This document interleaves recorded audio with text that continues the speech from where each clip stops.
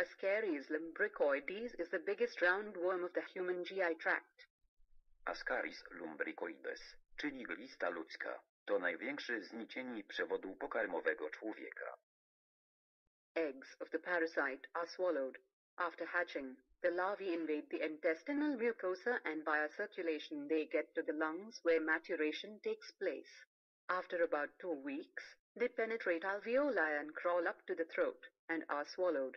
The lung cycle may produce respiratory symptoms in the infected patient. Po połknięciu jaj pasożyta wykluwają się z nich larwy, które penetrują ścianę jelita i wraz z krążeniem dostają się do płuc, gdzie dojrzewają.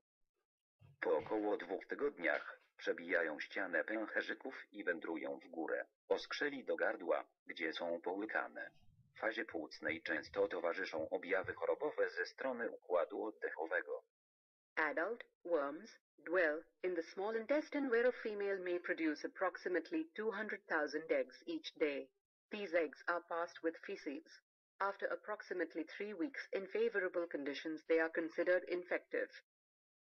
Dorosłe osobniki żyją w jelicie cienkim, gdzie samica składa do 200 tysięcy jaj dziennie.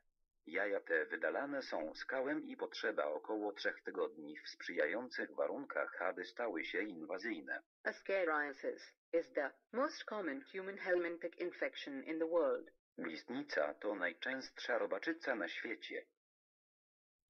Zapraszamy na nową stronę paracyty.pl Please visit the new website, paracity.pl.